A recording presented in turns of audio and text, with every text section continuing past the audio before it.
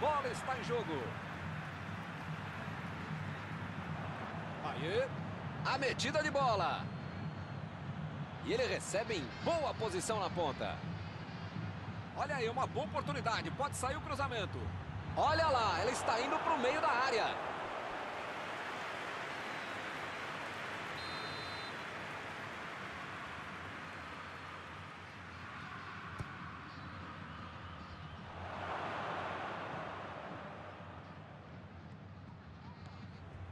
Igor Rabelo. Natan. Igor Rabelo.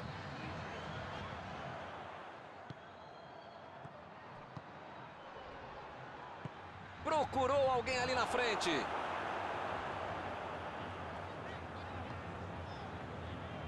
Guilherme Arana. Jogou na frente para ver o que dá. Hulk. Tentou o passe. Recebeu livre na ponta. Lá vai ele de cabeça. Tocou bem de cabeça, mas errou o alvo.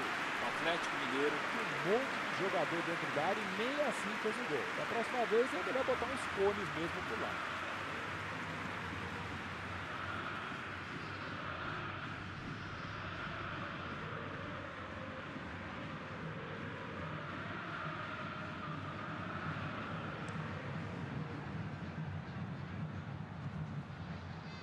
Opa, que presente pro adversário.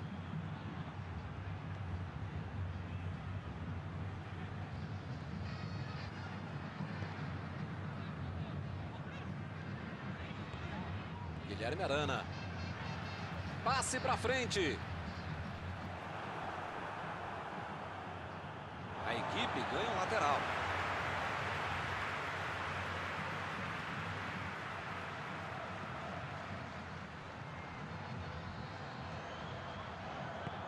Lá vem a bola para a área de novo.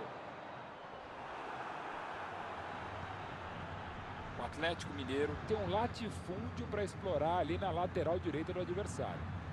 Bom, ele está sempre ali aberto pela ponta, dando amplitude, dando opção e uma hora pode dar certo, né? Como dizia o velho e brilhante narrador, é bom a defesa por as barbas de molho com as jogadas pelas pontas.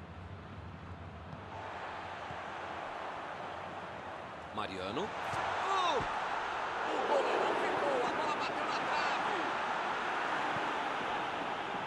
O time conseguiu o contra-ataque. Meteu a bola para frente. Lançamento por entre a defesa. E a bola chegou nele. Mandou a bomba. É agora, gol!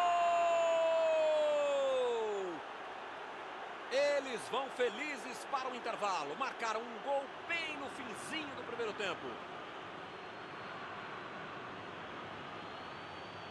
É outra lição de contragolpe. Marcação obsessiva lá na frente, recuperando a bola e fazendo gol.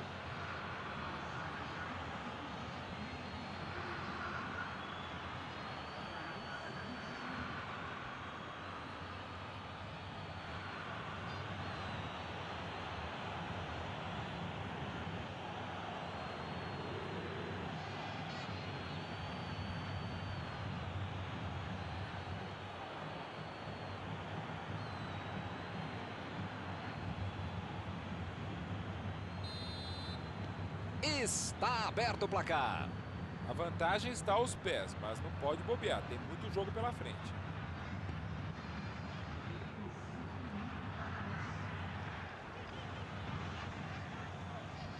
Bola enfiada pelo meio da defesa.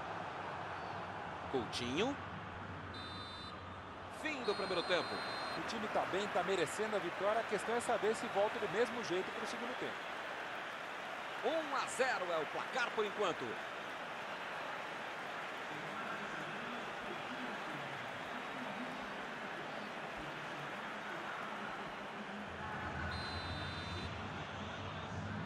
Já rolou a bola para a segunda etapa. O Vasco da Gama vai para o segundo tempo com um gol de vantagem. Tem jogador em boa posição no ataque. Paier. Que beleza, hein? Ele não solta a bola de jeito nenhum. Agora ele procura o espaço, depois cruza. Cruzamento. Tira dali a zaga. Finalmente eles tentaram atacar por dentro, algo que não via acontecido até agora, mas não sei se era o caso não.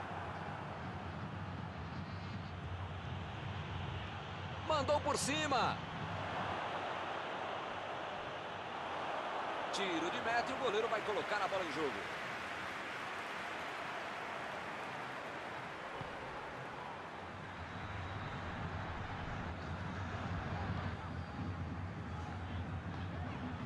Natan. O time pressionou nos últimos minutos e fez 1 a 0. Desarmou o adversário e saiu com ela. É, dessa vez a defesa levou a melhor. Mandou a bola para o ataque. Natan. Agora com o Hulk. A metida de bola pela direita. Lá vem o contra-ataque. Bola enfiada entre a marcação. Paier. Grande defesa de Everson. Que defesa! Esse era aquele gol que todo mundo achava que ia entrar, menos o goleiro que fez uma defesa incrível.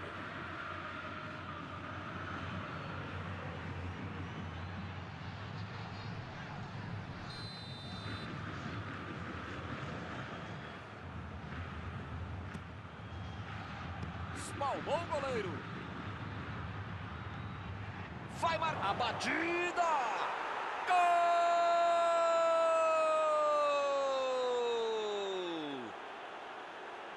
Faltando só um pouco. Esse deve ter sido o gol da vitória.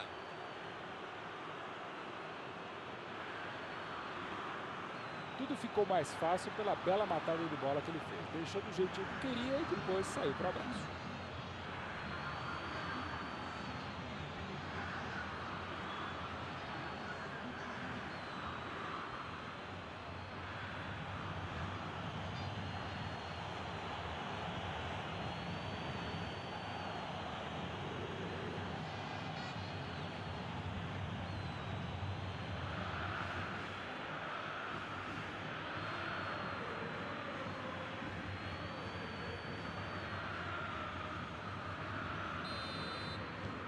Estamos agora com 2 a 0 no placar.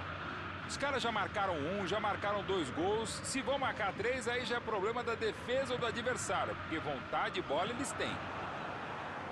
Aí ele pensou, vou botar o cara para correr. Chutou! Gol! Uma sonora goleada aqui no estádio. Com três gols de vantagem, o jogo está decidido.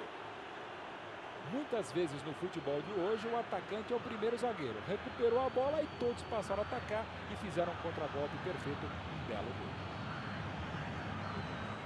Três gols para ele hoje. Olha, eu acho que eu já perdi as contas. É um gol atrás do outro do cara.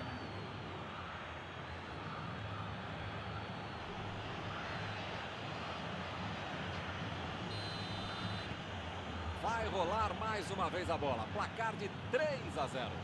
Milton tá numa fase, diria um grande amigo meu, esse time, que olha, ainda cabem mais gols. Tem bola para isso.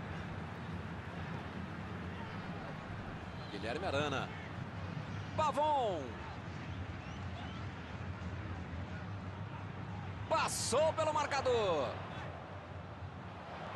Vai pro meio da área. E ele chegou ali para tomar conta, hein? Lançou ali, pertinho da bandeirinha. Aqui é o local ideal para um cruzamento, hein? A metida de bola para frente. Ergue o braço, o árbitro termina a partida.